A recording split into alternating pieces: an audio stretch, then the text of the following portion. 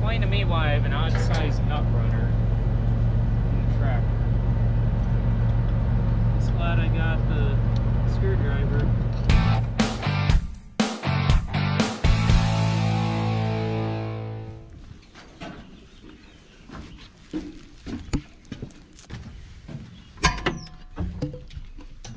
Morning guys and welcome back to Werner Farms. Well, I'm down here where Dad's been planting with the sprayer and we're gonna see what we can make happen this morning on this field.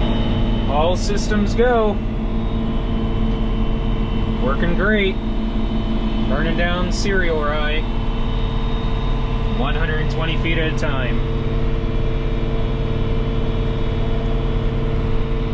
Dad's doing the Xyway across the road, gonna get that field finished. Then I'll move on to that one, and he'll move just south of the railroad and work on the last little field over there.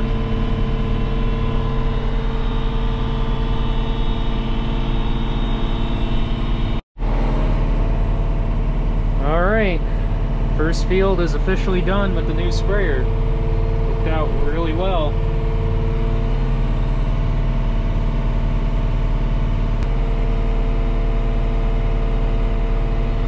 And down.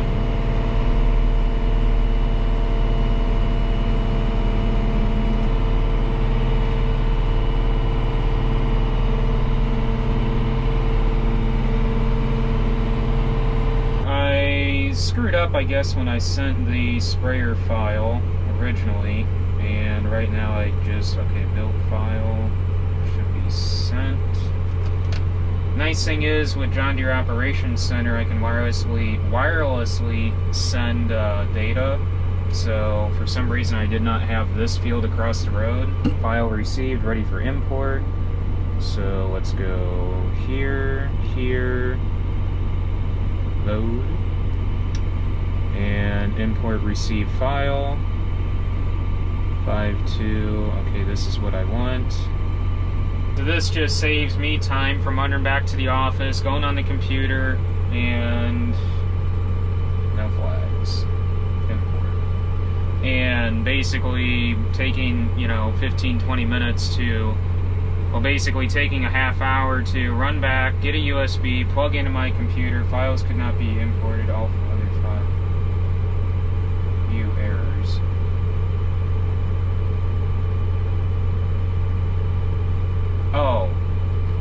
matches active track. Okay, that makes sense. That's no big deal. Okay. Uh, see if I got my right. Yep, there we go. Got my field. So then I would have to make a setup file, come back, plug in, transfer, then go. Whereas right now it just took me two minutes to do this. So awesome. Absolutely love John Deere Operations Center.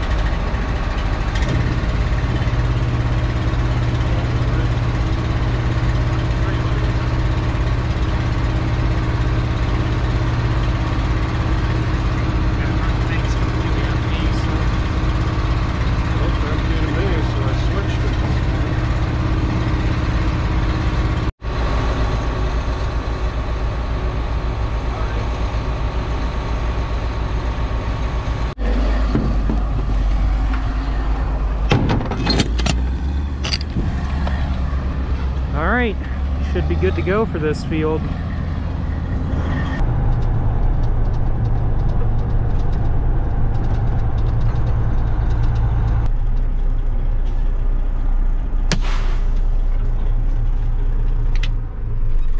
So we're down to one more toe to quadrant and a couple totes in furrow and uh, eventually we'll get that in furrow run in there uh, probably before we move anywhere after today and uh, we'll just have to figure out acre wise where we need to go with the quadrant as far as uh, which tanks how many acres and this and that thank you Amanda now to bring this big guy back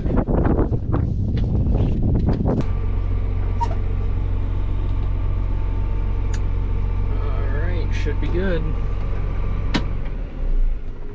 So those two bags in that pallet need to come off of there, 720. I need uh, that box in the tender, the green truck hooked up to the tender, and I need, what are those, 28A97s? Yep, I need all of the, uh, one, two, I need that skid down there. And that should cover me.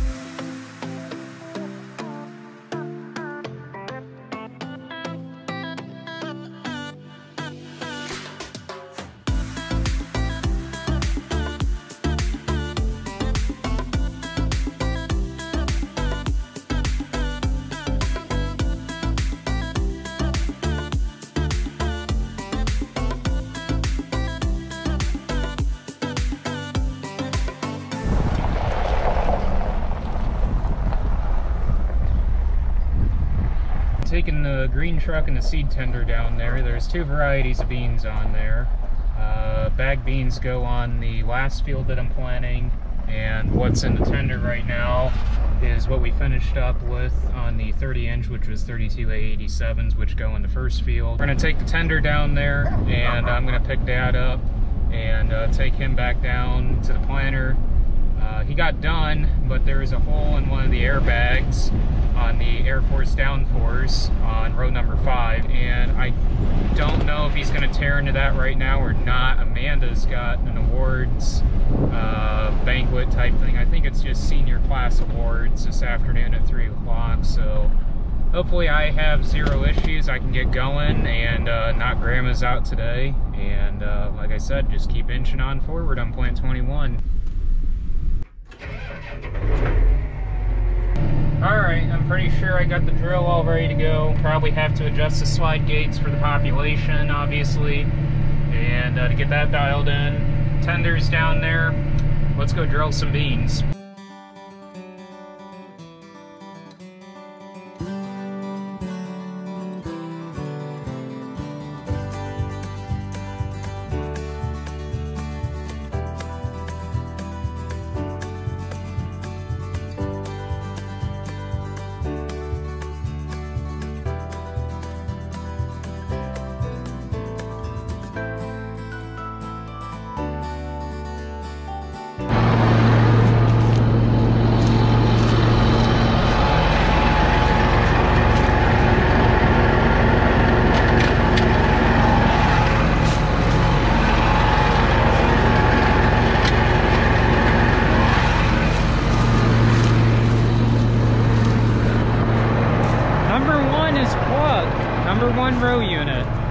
sure it's a trunk of seed treatment. We are not going to do downstream treating next year. Uh, we are going to get it all from the plant because we've had uh, customers have had issues and now we're gonna have issues so I'm not too thrilled. Explain to me why I have an odd sized nut runner glad I got the screwdriver. The weird thing is, Grandpa and I were watching when we were putting the beans in, and we only saw a couple chunks, but sometimes you can't always find them all.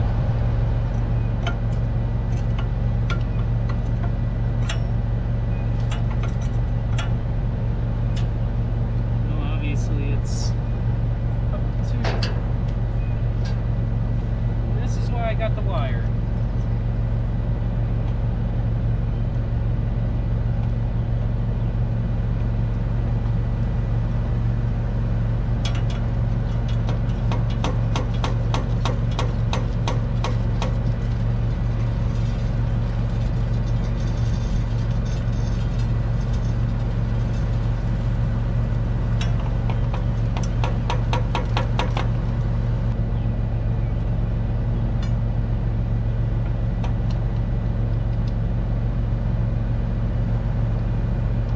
Hopefully we don't have any more issues. Otherwise population's high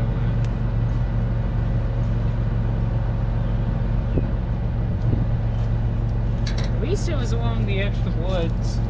Man, I don't know, this field's in the back, so if there's any screw ups, nobody's gonna see them. Except the neighbor back here.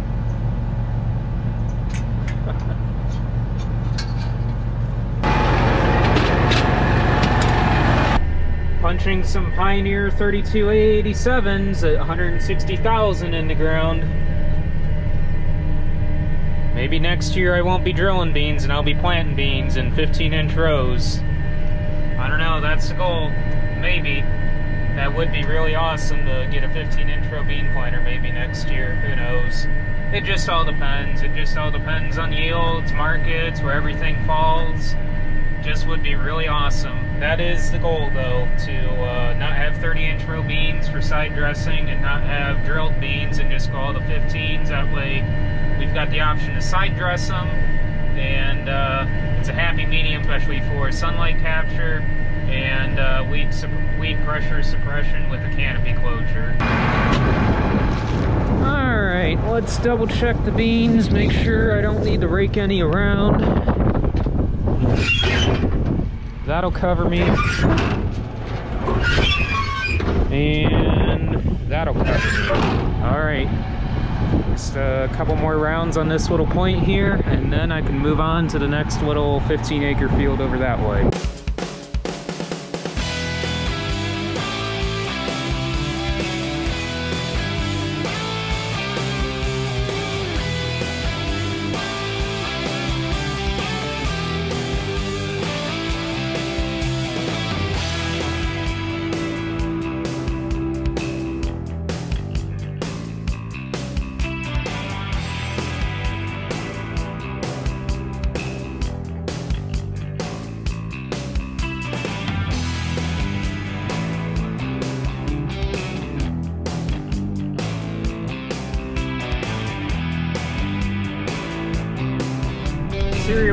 Balansa clover. That Balansa clover out there is just the same height as what that cereal rye is, which that cereal rye is pushing over waist high right now out there.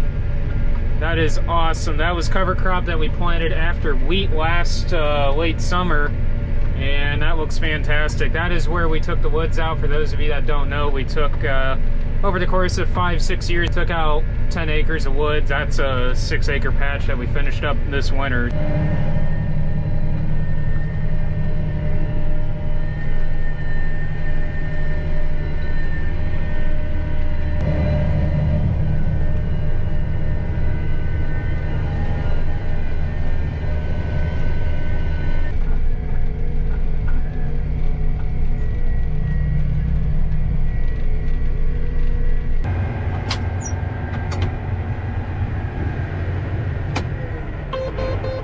Well, thanks for watching, guys. Don't forget to like, comment, and subscribe down below. Don't forget to follow me on Instagram, Facebook, and Snapchat. And I will catch you guys in the next video. Thanks for watching, guys.